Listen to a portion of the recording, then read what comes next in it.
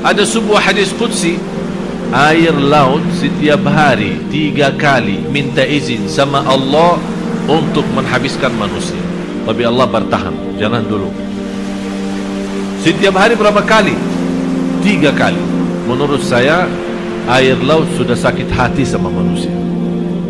Benar-benar kecewa air laut. Malah ada orang berani datang, datang ke dekat laut di pantai berbuat macam dosa dan maksiat seolah-olah berani lawan. Dia sudah sakit hati. Ya Allah izinkan saya habiskan mereka. Kata Allah jangan dulu. Masih ada di antara hambaku yang masih beristighfar. Tapi Allah kirimkan dan melepaskan air laut untuk menghabiskan manusia. Tapi tetap Allah masih bertahan. Jangan habiskan semuanya.